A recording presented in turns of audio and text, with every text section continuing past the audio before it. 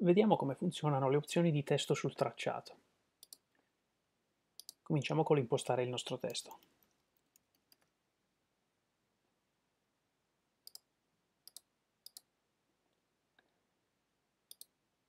Ora abbiamo un livello di testo selezionato, quello che facciamo è che prendiamo la penna o un altro strumento per creare un tracciato e creiamo un tracciato.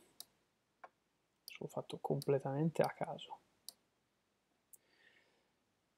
Ora abbiamo creato entrambi i livelli all'interno di quest'unico, quest'unico contenitore, per cui abbiamo testo e abbiamo maschere, perché lui questa per adesso la interpreta come una maschera, che non è nemmeno, non è nemmeno attiva, cioè non sta nascondendo di fatto niente. Nel momento però in cui apriamo le opzioni di testo, su opzioni tracciato abbiamo maschera 1, ovvero si chiama con lo stesso nome, se la rinominiamo il nome cambia anche qui e vediamo che il nostro testo è stato posizionato. È stato posizionato sopra alla traccia che abbiamo creato, è posizionato a 0 qui abbiamo l'opzione forza allineamento che la riempie tutta. Abbiamo l'opzione inverti tracciato, io parto da qui e vado verso destra. Invece se, se, inverto il tracciato parto da destra e vado verso sinistra e anche il, il senso è diverso, nel senso che adesso la mia scritta è sotto la lascio disattivata al momento.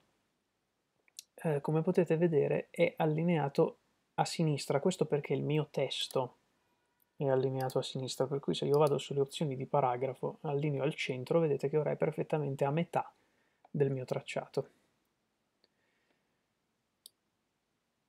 Per cui posso portarlo avanti e indietro con le opzioni primo margine e ultimo margine. Se io attivo forza allineamento poi posso comunque agire su primo e ultimo margine. In questo modo posso partire da questa posizione, per esempio, e far sì che il mio testo arrivi fin lì.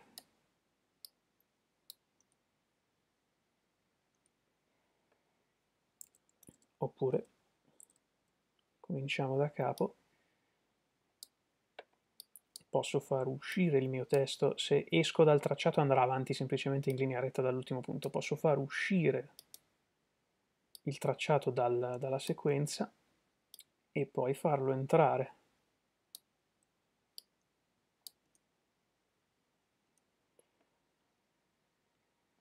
Questo è possibile farlo anche su un altro tipo di forma. Ah, ho creato un punto che non volevo creare, lo cancelliamo.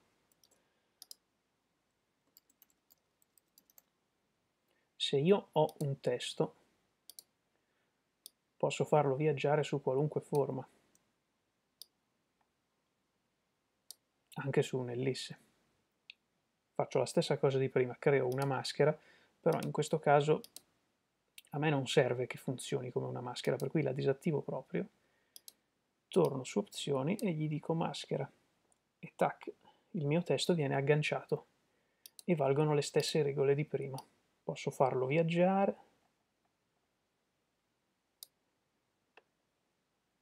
Posso invertirlo quindi andrà dall'altra parte.